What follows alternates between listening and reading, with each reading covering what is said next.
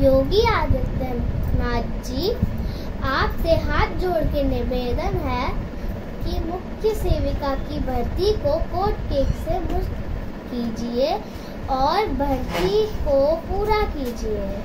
मुख्य सेविका की भर्ती 2021 के पैर से निकली थी।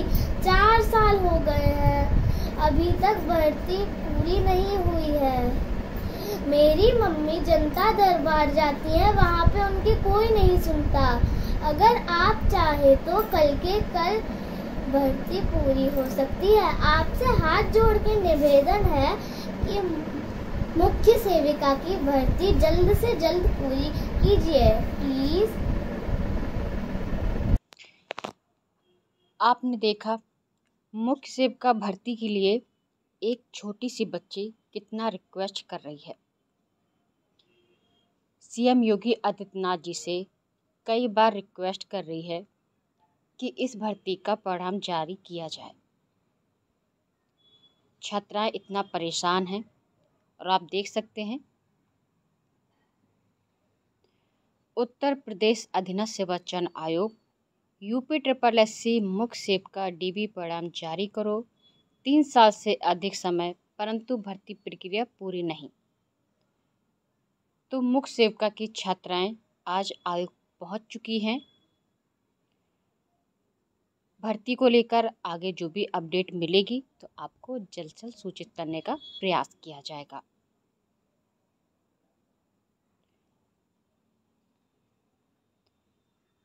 आईटीआई अन्वेषक के अभ्यर्थी उस दिन आयोग गए थे।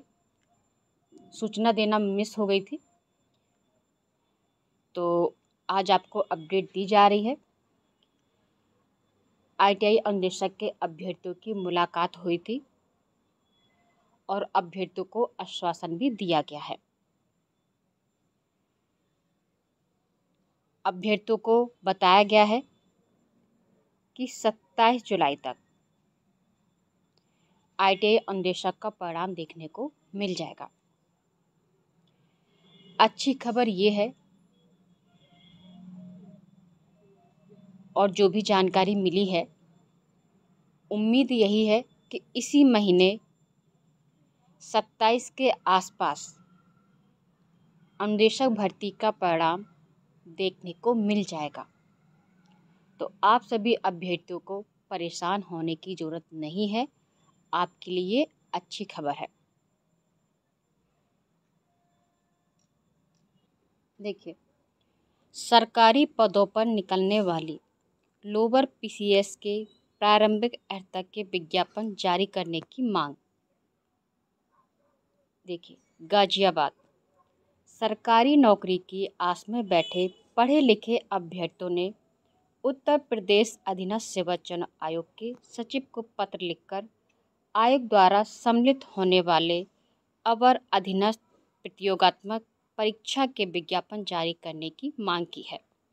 दिए पत्र में कहा कि लोअर पीसीएस का विज्ञापन वर्ष 2019 में छः सौ बहत्तर पदों के सापेक्ष जारी किया गया था। उसके बाद कोई विज्ञापन जारी नहीं किया गया, जिससे अभ्यर्थियों को तैयारी करने में दिक्कत आ रही है। अध्याचन प्राप्त होने पर भी भर्ती का विज्ञापन जारी न करना अभ्यर्थियों के साथ अन्याय ही नहीं, उनके भविष्य खिलवाड़ है। विभिन्न जनपदों से विद्यार्थियों द्वारा मांगी गई जानकारी से पता चला कि विभिन्न सरकारी विभागों में अनेकों पदों पर भर्तियाँ निकली। लेकिन उनके विज्ञापन जारी न होने के कारण अभ्यर्थी नौकरी से वंचित रह जाते हैं। तो आप देख ही रहे हैं भर्तियों की क्या कंडीशन है। विज्ञापन जारी नहीं किया जा रहा है। कई सालों से विज्ञापन जारी नहीं हो रहे हैं। लोअर पीसीएस भर्ती विज्ञापन के लिए अभ्यर्थी जनता दरबार गए थे, गोरखपुर गए हुए थे।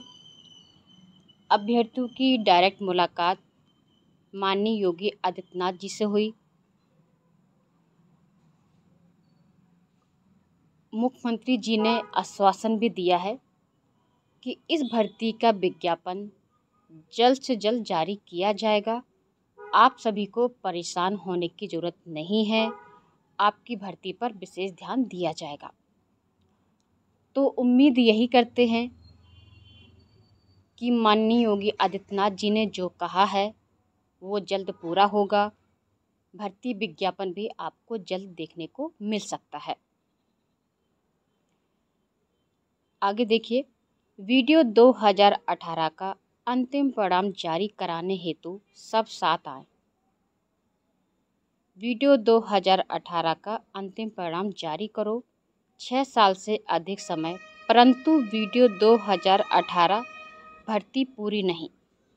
24 जुलाई आयोग चलो। वीडियो 2018 के अभ्यर्थी 24 जुलाई को आयोग पहुँच रहे हैं।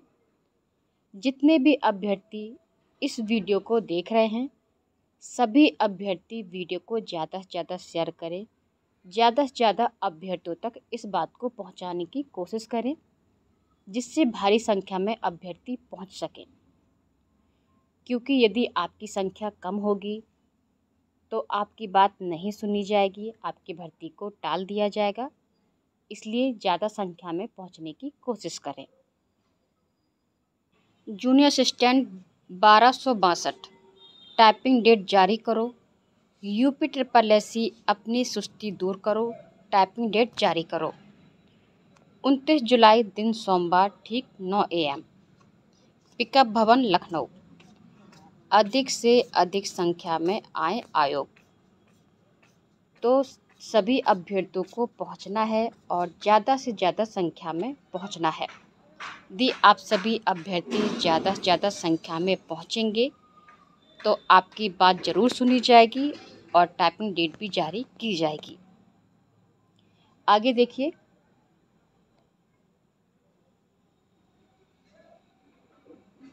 जूनियर इंजीनियर 2018 परिणाम को लेकर राजधानी में अजीबोगरीब कारनामे करते दिखे अभ्यर्थी।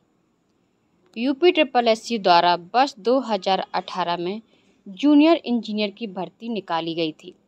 वर्ष 2018 में निकाली गई जूनियर इंजीनियर भर्ती। छः साल बाद भी पूरी नहीं। तो छः साल हो चुके हैं, लेकिन इसके बाद भी ये भर्ती पूरी नहीं हुई है। लापता जेई 2018 अंतिम परिणाम की तलाश। हेल्प।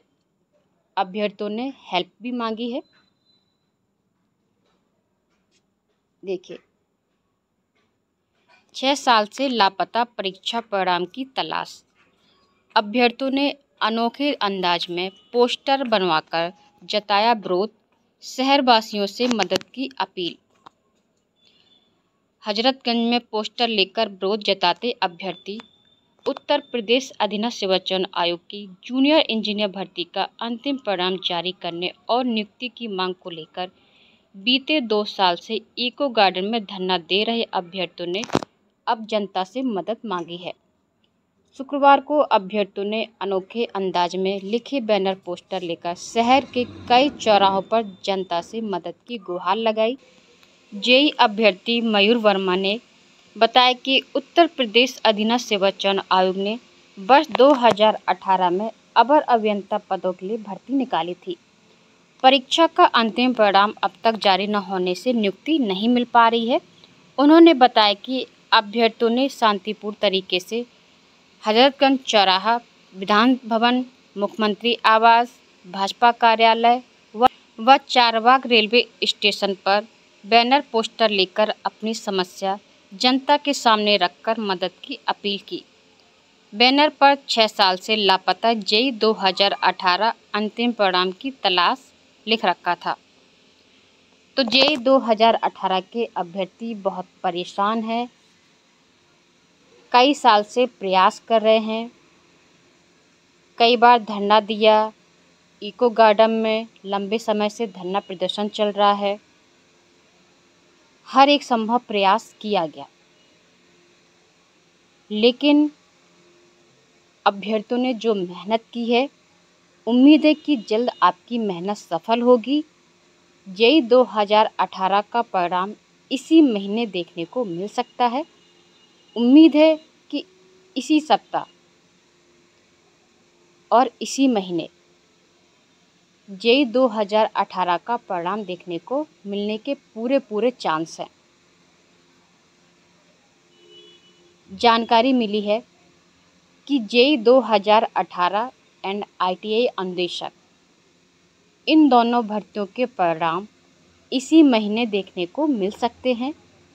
कोई भी परिणाम आपको पहले देखने को मिल सकता है। तो आप सभी अभ्यर्थियों को अब परेशान होने की ज़रूरत नहीं है। आपकी मेहनत जल्द सफल होगी। और मैं यही कहूँगी, जेई के अभ्यर्थियों ने बहुत बहुत मेहनत की है।